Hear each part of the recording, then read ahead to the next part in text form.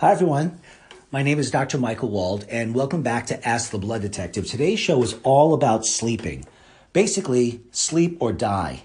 Now, you might think that's a bit of an exaggeration for me to have a conversation about the quality of sleep and dying, but I promise you that's no stretch of the imagination.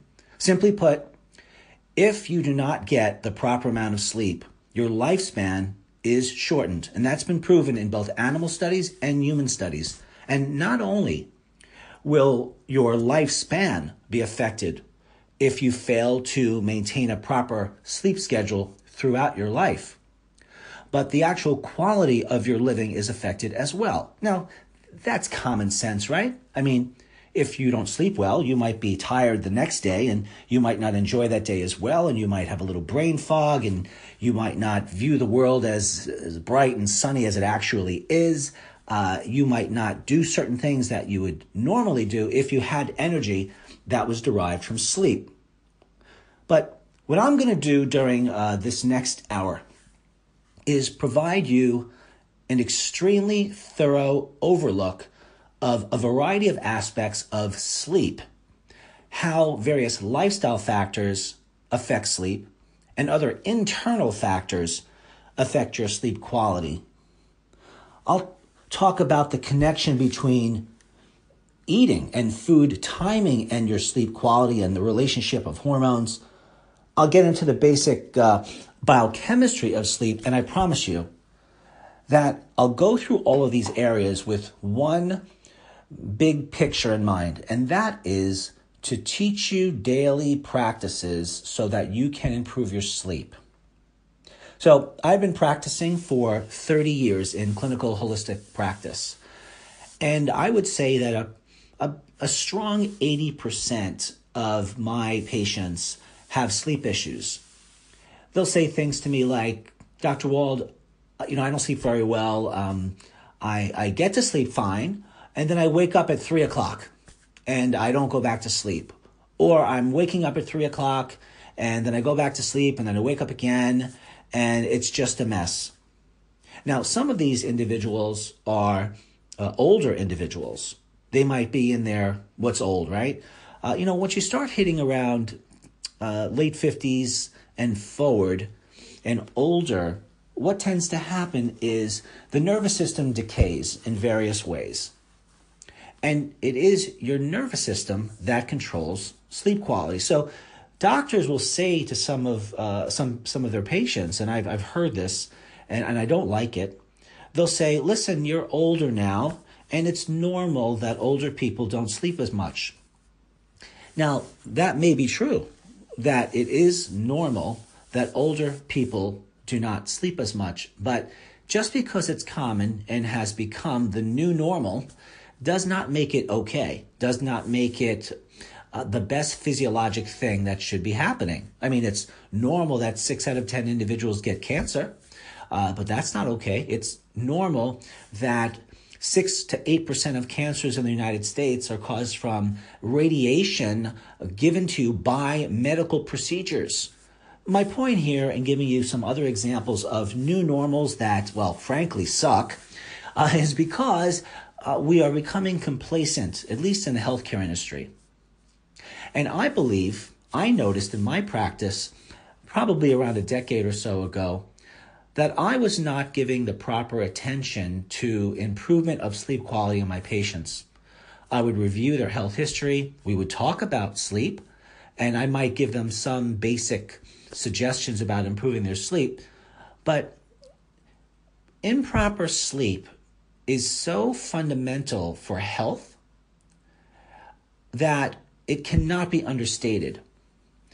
Sometimes you can take a pill like melatonin or L-tryptophan or gamma amino butyric acid. Heck, you could drink some warm milk and it might do the trick for you. But most people will not respond to those uh, attempts with any reliability.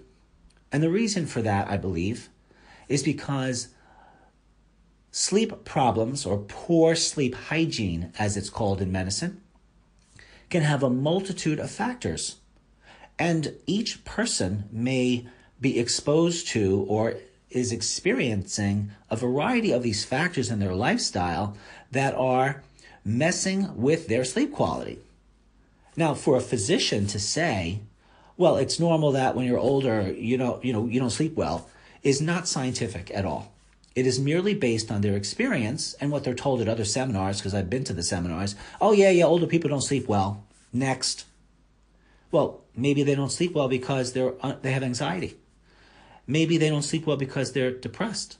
Maybe they're not sleeping well because they're not eating well. They may be protein deficient. They do not, therefore, make neurotransmitters, which are required and made from proteins, in their brains so that their circadian rhythms, which is the sleep cycle, is working well. Now, that's just a few examples. There are hormonal examples of problems that create sleep issues. There are toxicity issues. I mean, if you have aluminum, for example, depositing in your brainstem, that absolutely can affect your sleep, not to mention give you Alzheimer's dementia. Chronic inflammatory causes, many different types of inflammation, cause a hyperexcitability of the brain and nervous system, which is the exact opposite of what you want when you are trying to have quality sleep. So, for those of you just joining us, thank you. My name is Dr. Michael Wald, and I have a practice located in Katonah, New York.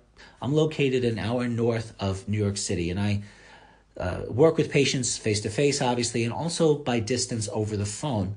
So, if you want to contact me with a story idea or to work with me, call me at 914 552 1442. That's 914 552 1442. And please uh, also check out the other blogs that I have and my podcasts, which you'll see under the blog section of my website. The website is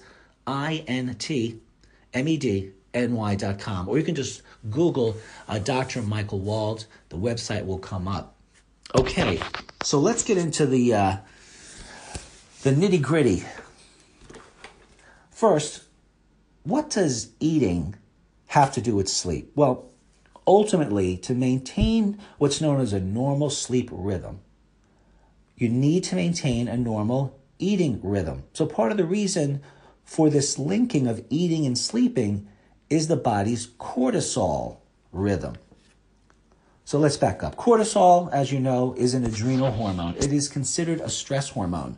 It has many essential effects in the, in the human body. We cannot live without it. And you probably heard about it when we think about weight loss. People with high cortisol or hypercortisolism may have uh, belly fat.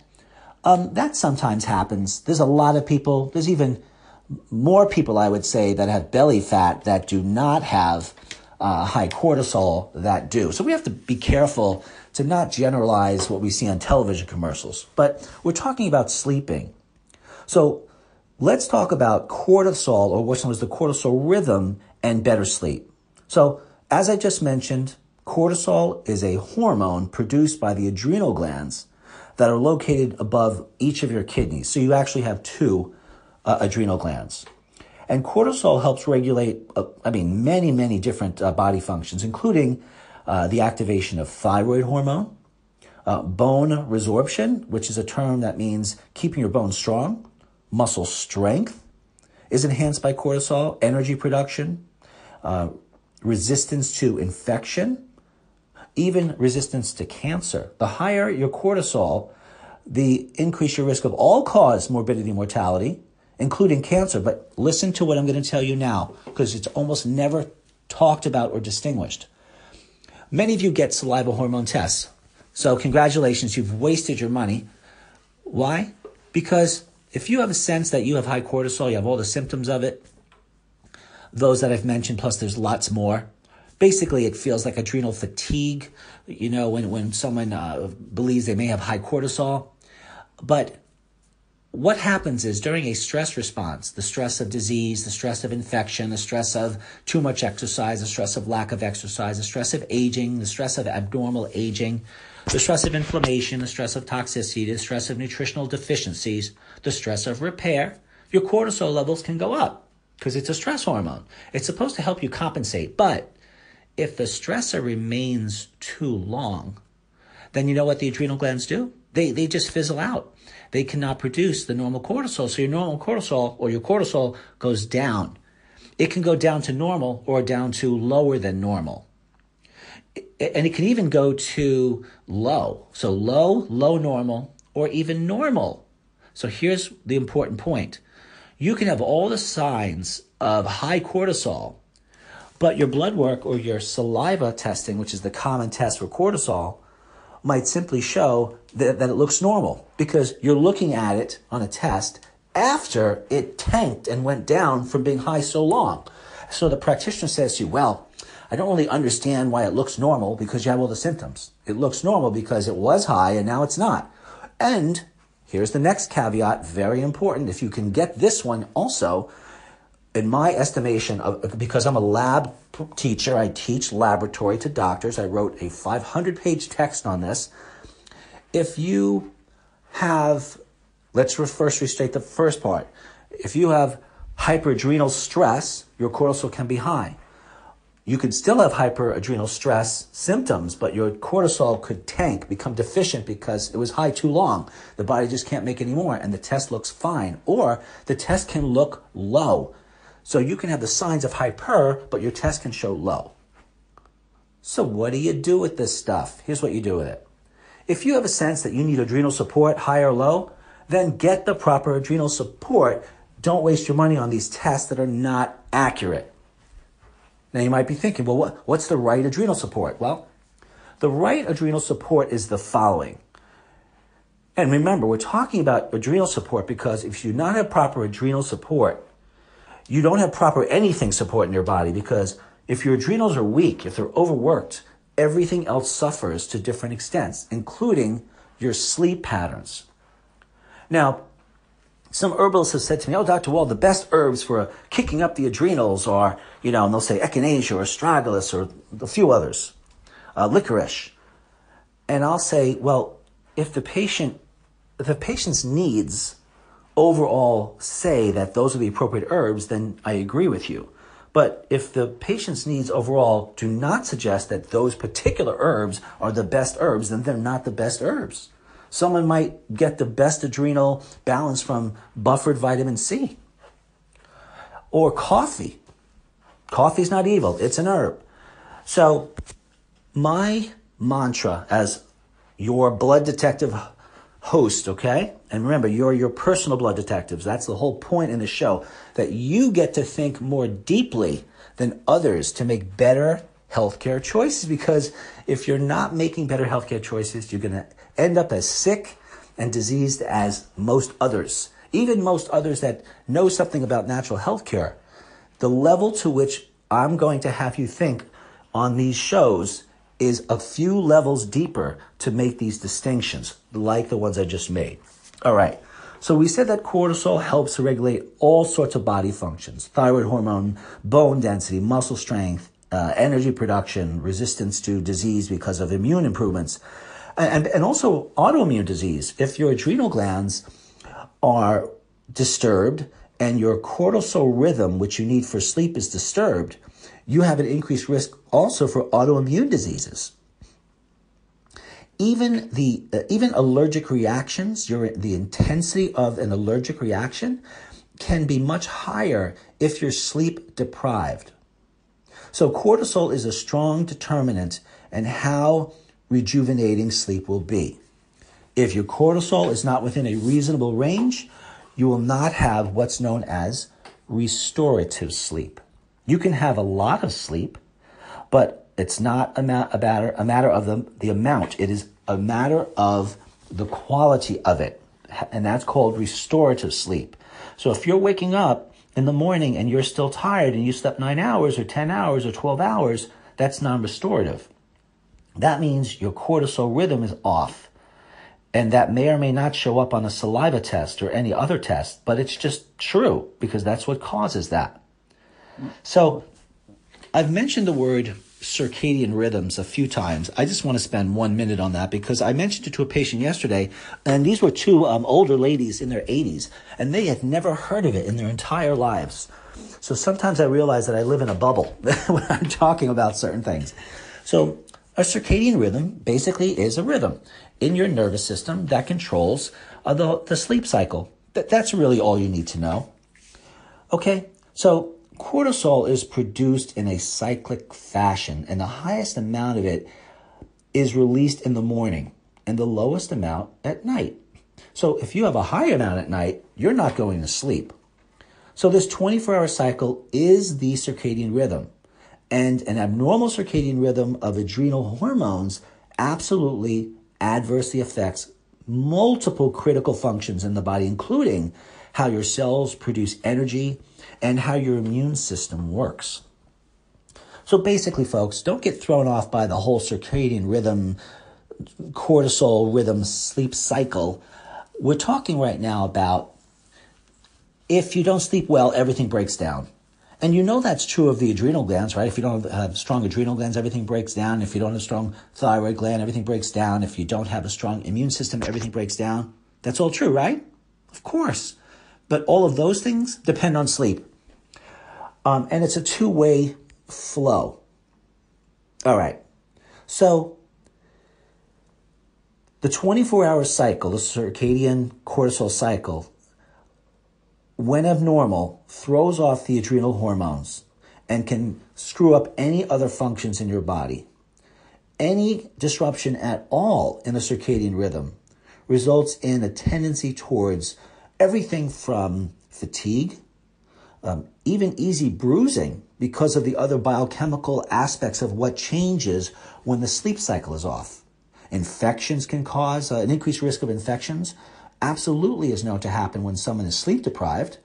Even infertility, osteoporosis, a low sex drive, infertility, adult acne, even um, abdominal bloating, migraines, or your blood pressure, which is also controlled by your nervous system, which includes the circadian cycles.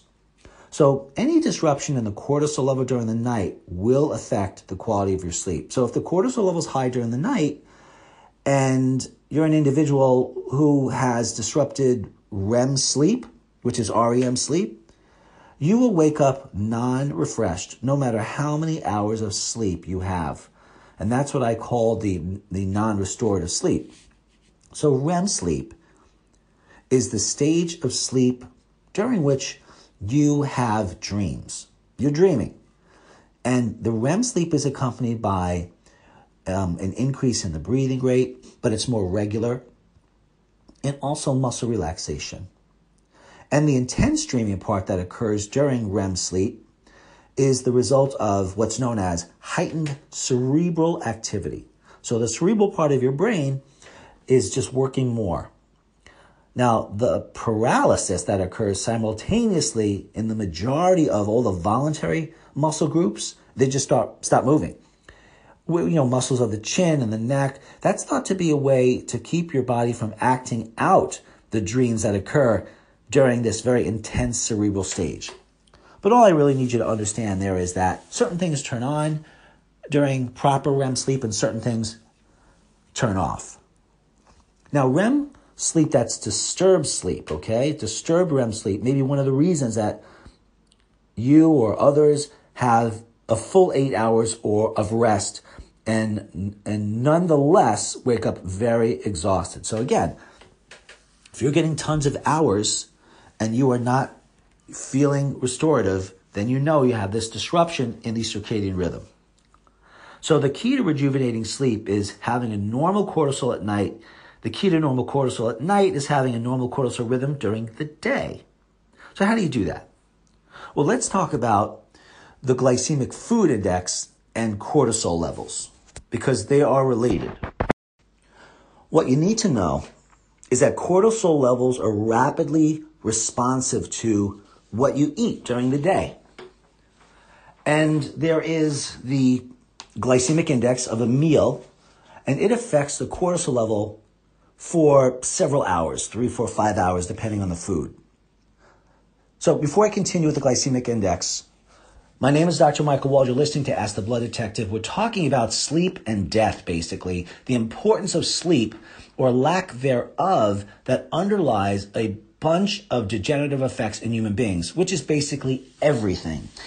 You know, sleep is one of those things like like water and, and oxygen and food uh, and sex maybe for some of us. So these are things that we just we have to have otherwise we're dying. Now, I just mentioned the glycemic index. So the glycemic index of a food reflects how our blood sugar level is affected by a particular food. So foods containing high sugar and low fiber have a high glycemic index sometimes and result in much wider fluctuations in insulin levels than foods with a low glycemic index. So basically, foods that screw up your blood sugar have a higher insulin association with them, and they're called high glycemic index foods. And as you might guess, they screw up your normal REM sleep and your high quality sleep and your circadian rhythms. But the glycemic index, everyone, it's not 100% true. I have tested patients where I gave them what was considered a high glycemic food, a food that's supposed to cause a rapid increase and dramatic increase in blood sugar, and it didn't do anything. And then I gave them something like steak that was um, supposed to lower their blood sugar, and it didn't do that at all. So, like everything else in healthcare, uh, natural medicine, we have to find out what's true for you. The only way to do that is to test you. But I'm going to speak about the glycemic index as, as if it's true, just so you get the points. So, foods containing, as I said, high sugar and low fiber, they have a high glycemic index. They'll cause wild fluctuation in insulin. So insulin yet is another hormone affected with sleep.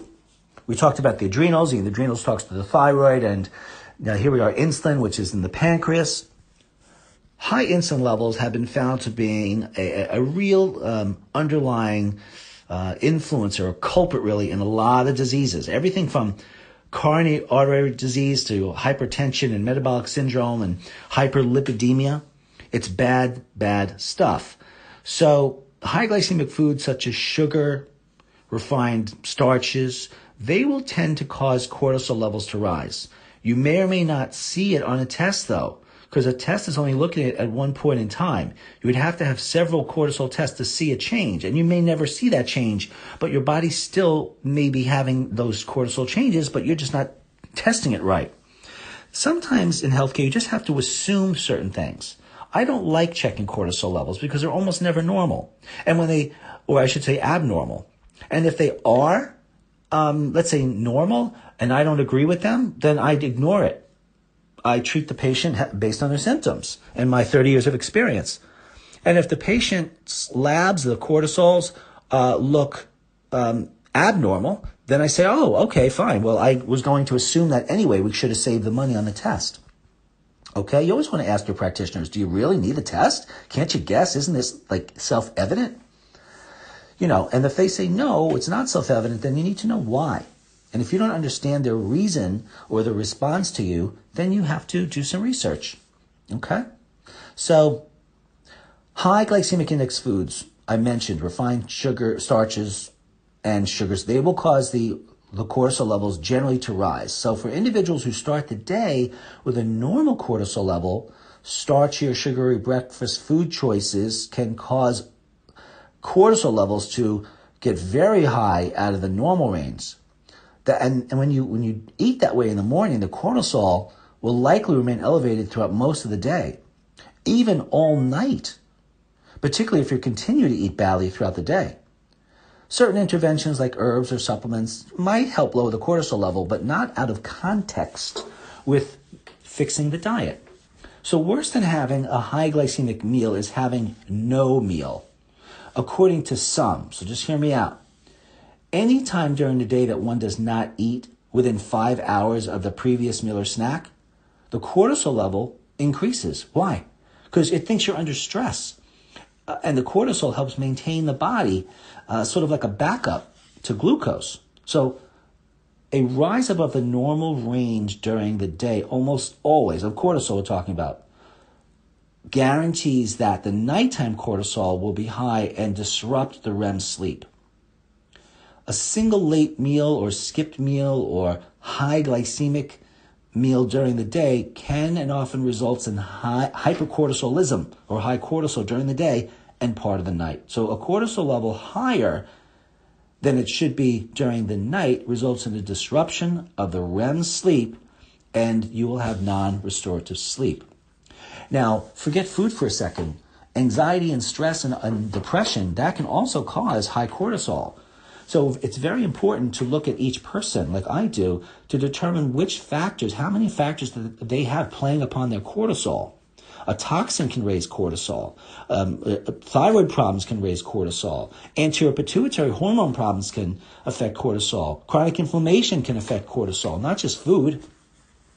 Okay? So low glycemic foods such as eggs, meat, fish, poultry, most vegetables, tend to lower cortisol. So low glycemic foods tend to lower, high glycemic foods tend to higher cortisol. So if, if you start with a normal morning cortisol, eating foods with a low glycemic index category every five hours during the day, that's going to help keep your cortisol on track.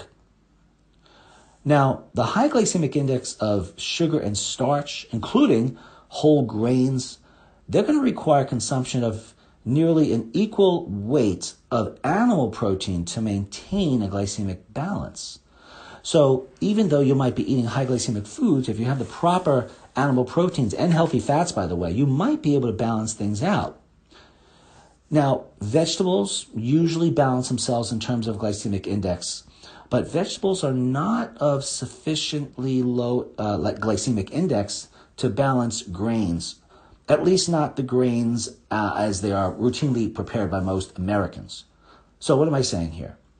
I'm saying that if you're eating sugary and starchy foods in the morning, if you have an animal protein or a plant protein, that might help maintain a glycemic balance. But if you have high glycemic foods in the morning and you think vegetables might help you maintain a normal glycemic balance in spite of the high sugar foods in the morning, it might not work out that way.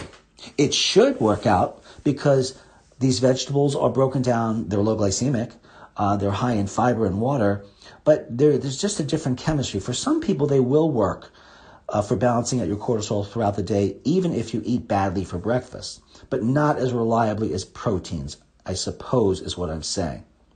Okay? So, the, you know, there's many cultures around the world that have developed uh, this process of uh, pan frying and soaking and steaming rice that um, lowers the glycemic index of a non gluten grain. All right, that's just a side note there. So, everything from pan frying breaks down certain elements of uh, rice, soaking will do that, steaming will do that, and it helps to lower the glycemic index of uh, a gluten, the non gluten grain rice. Now, if you want to prevent the uh, deleterious upward swings of cortisol, again, what we call hypercortisolism, you're usually going to do better to prevent, or sh- I should say, to balance all sugars and grain, including whole grains in your diet with animal protein or uh, very dense uh, plant based proteins like beans, okay? Nuts and seeds, things like that. But if you have a real sugar problem and a, a very strong sleep issue, then you might need supplementation of, of vegetable proteins if you want to be vegan. So, even given what we know about the various uh, pitfalls of, of animal protein, it probably remains better to eat animal protein with each meal uh, at which you have sugar, including fruit uh, or grains. But as a vegan myself, I don't eat animal proteins. So I take a uh, rice and pea based protein powder, and I will eat that with my sugary foods or drink that. So, if animal protein is not tolerated, maybe you can't digest it, or for medical reasons, religious reasons, or social, you know, social conscientious reasons, you don't want it. Uh, remain vegan. Um, it's probably better to remain vegan than to be carbo vegan. Okay. I did do a show, which you can look up on um, diets. Uh, you'll find that on my blog at my website at intmedny.com. That's intmed. ny.com. So now let's talk about pain and how does how does pain screw with cortisol balance? Well, some of you might have a clue. So pain, even as simple as a headache, can, can elevate your cortisol. You stub your toe, your cortisol is going up. Pain and the elevated cortisol both contribute to sleep disruption.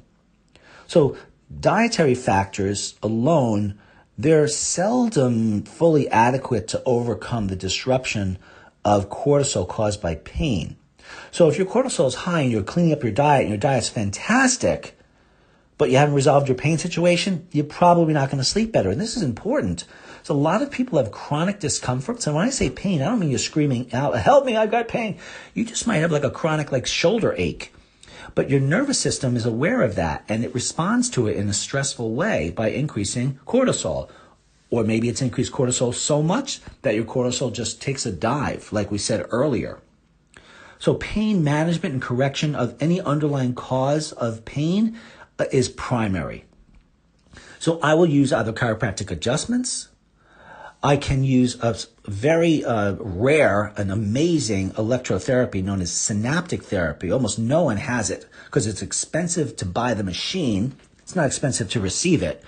Is that synaptic therapy teaches your nervous system how to make more natural anti-cortisol uh, painkillers, painkillers and anti-inflammatories, endorphins, and enkephalins, and serotonin. And the machine has you manipulate the, the power on the machine. So you literally are doing it based on your tolerance.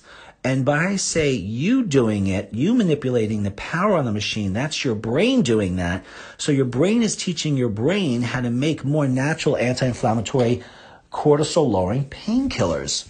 So that's synaptic therapy. It's not like TENS machines, T-E-N-S, trans electrical nerve stimulators, or those machines that some chiropractors or physical therapists have.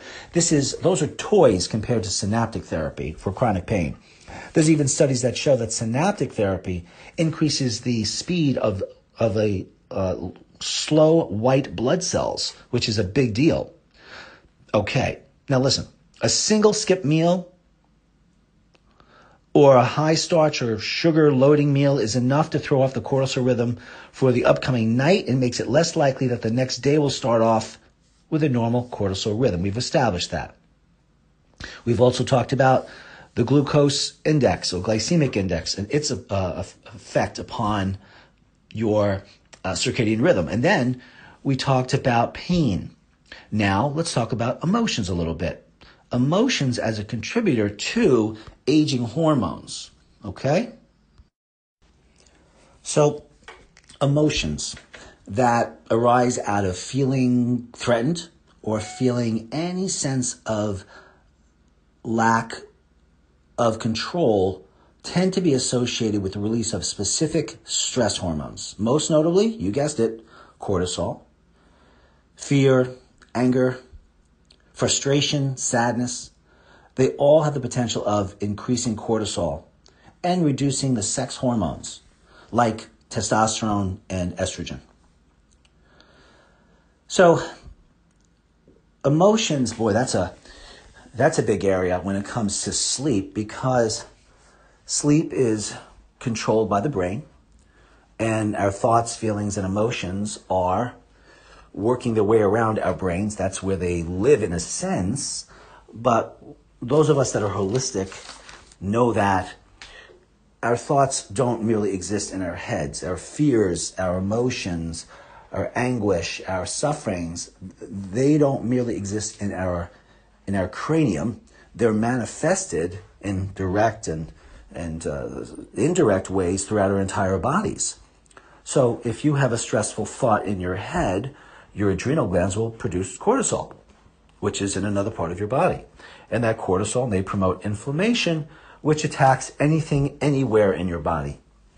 So I hope, suffice it to say, for the moment, that stress in the head will almost certainly affect sleep quality.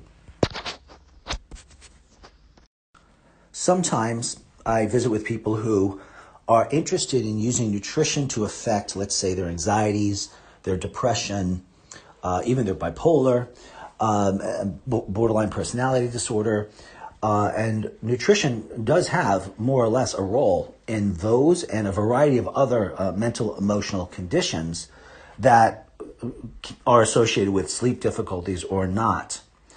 My point in mentioning them is that there is no nutritional supplement or dietary um, substitute for proper uh, and correctly managed mental health care. Uh, there's a lot to be said about talking things through and developing coping mechanisms, for example, and to uh, you know look back at one's life and reflect upon uh, behaviors and that sort of thing.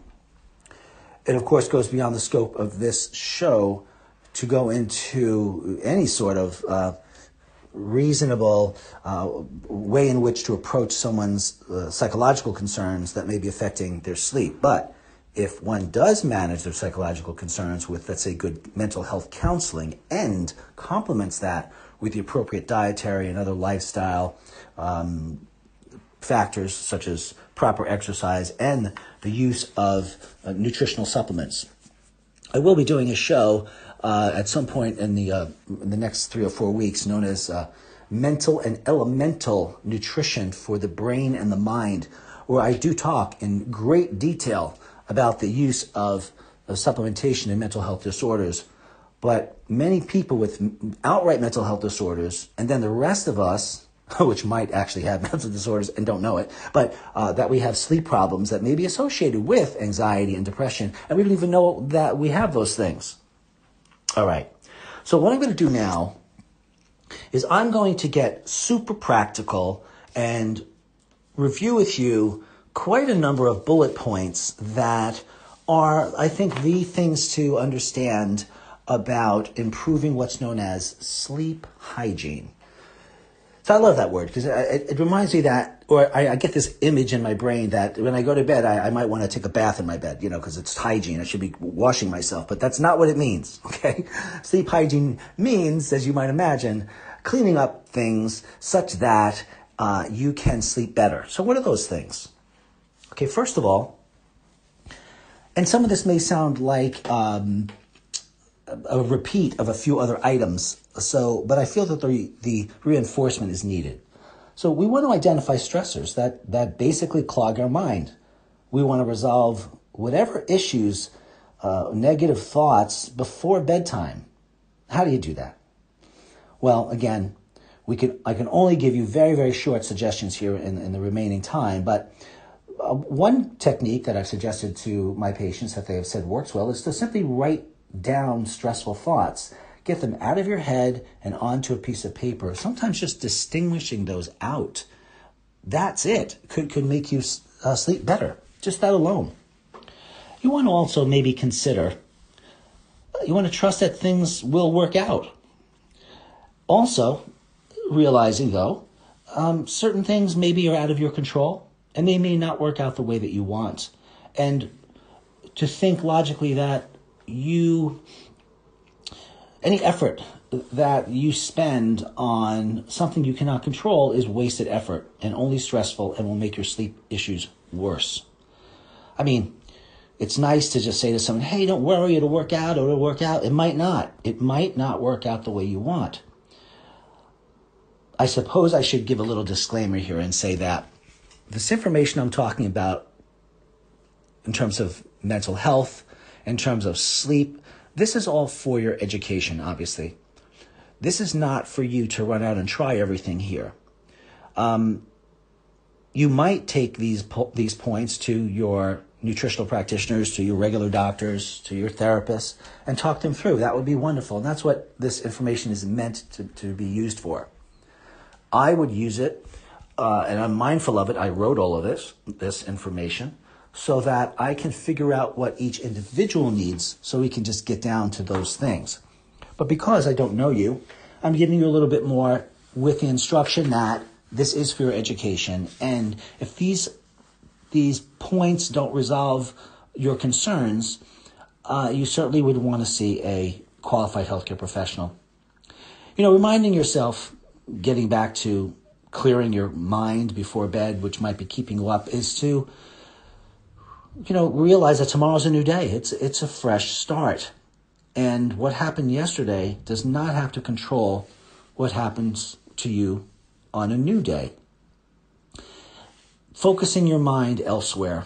This is something that I actually practice a lot. When I feel overly focused and distressed on a point and it's affecting my sleep, I try to think of something else. Um, I would suggest not thinking too much about falling asleep if you're having problems falling asleep. Try to clear your head and think about sleep as little as possible.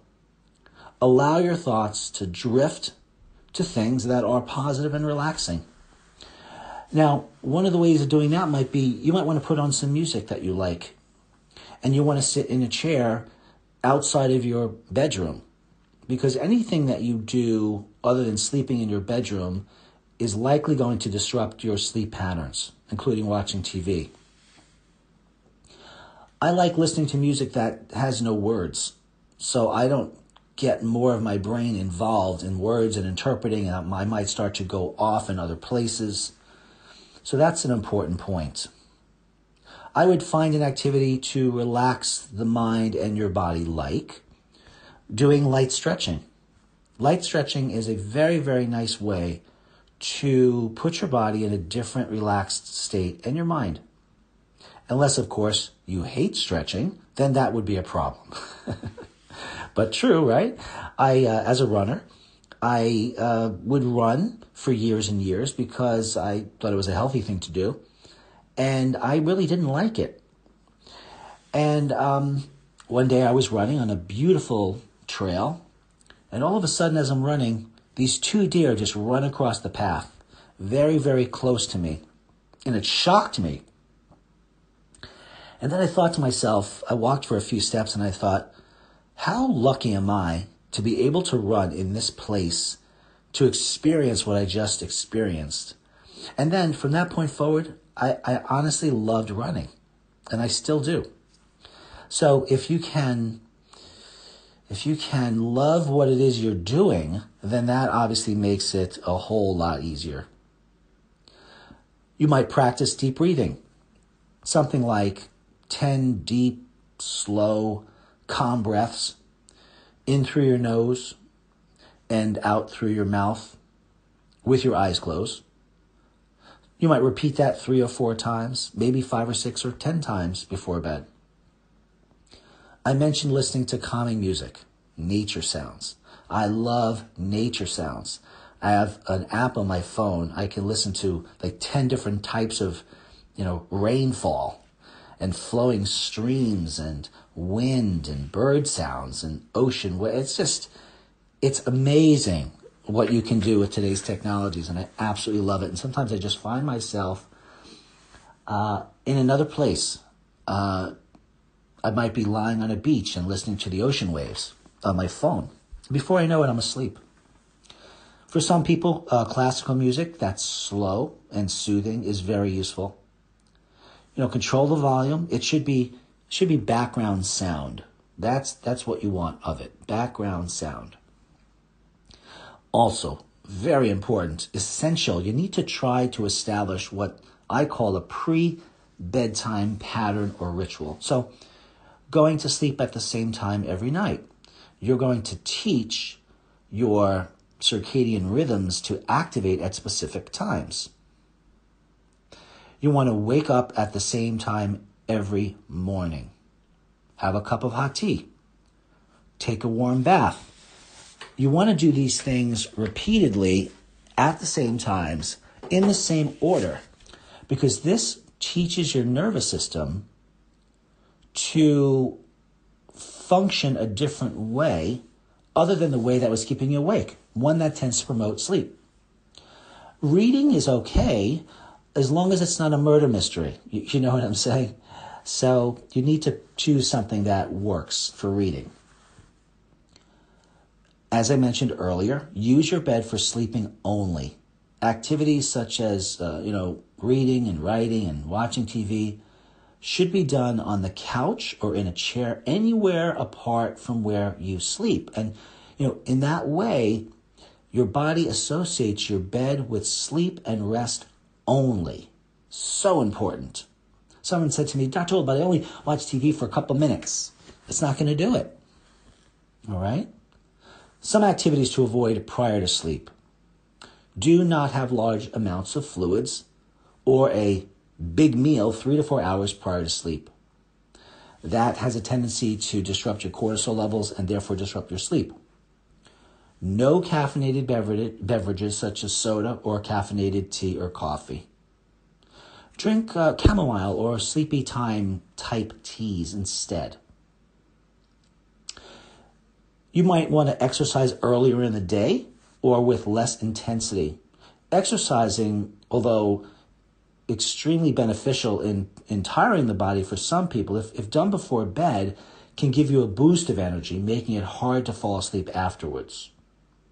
Now, I work out pretty much every day between one and two hours of hard weights. And I go, I get right to sleep. so for me, that's not working. Okay?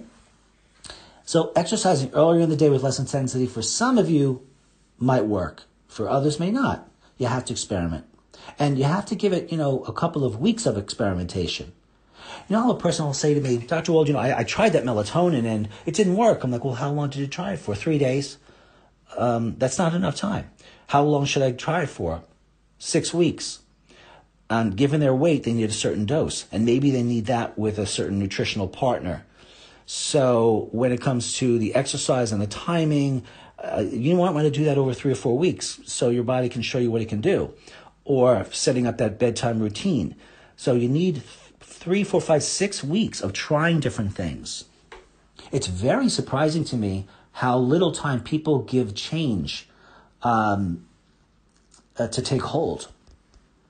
Okay, some people they'll change very quickly, but most of us will not. So do a type of exercise during the day that um, is healthy for you. And probably I would have to say yes, most people are better off doing exercise earlier in the day away from sleep. I'm an exception. Aerobic exercise, that'll tire your muscles. You'll need rest to recover.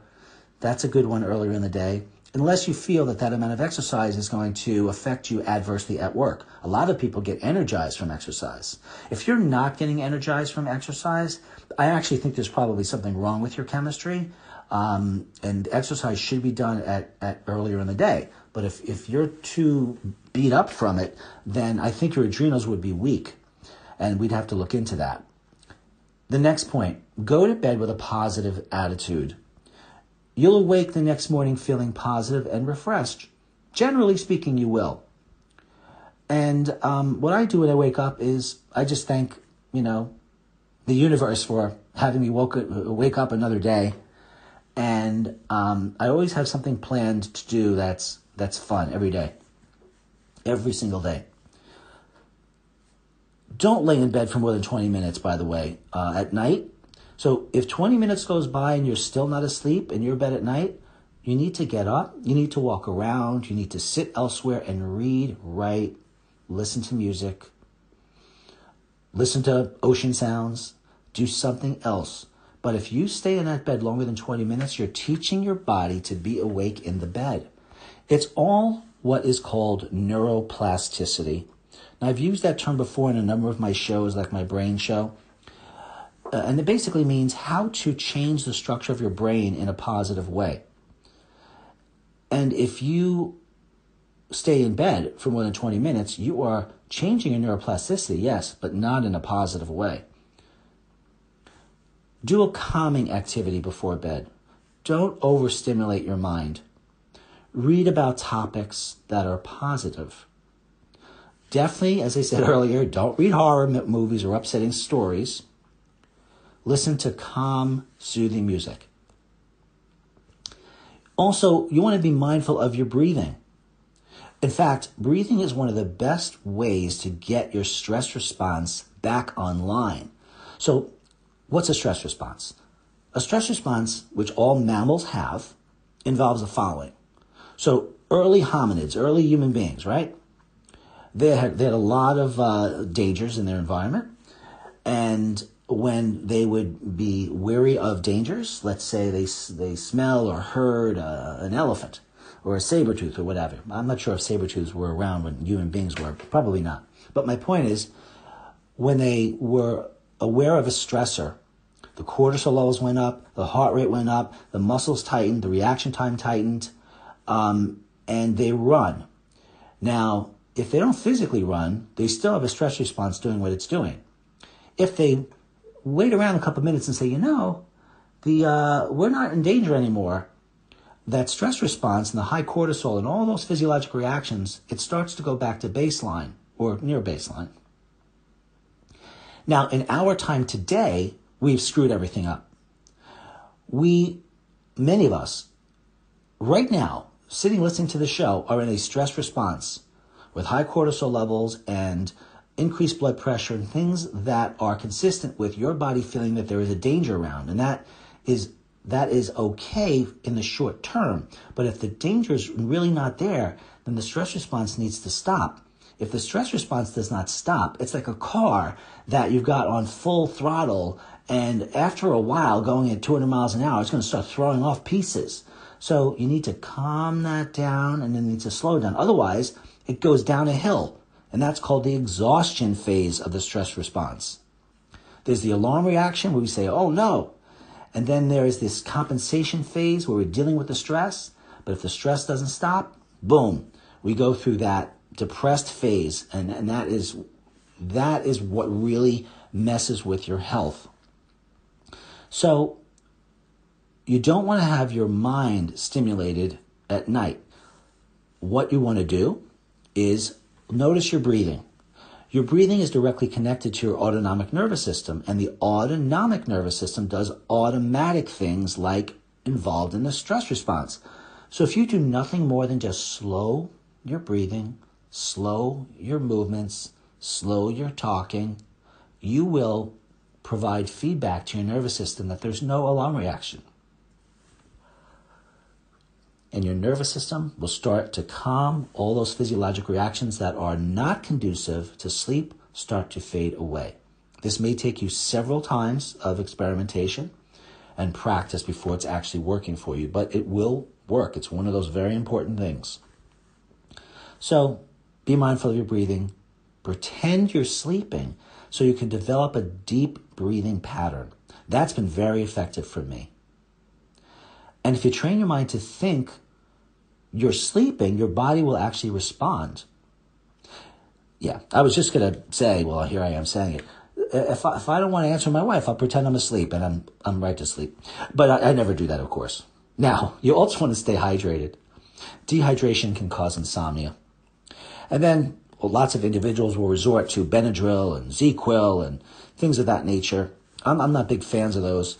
I like to use GABA, which is called gamma aminobutyric acid. It's a relaxing neurotransmitter.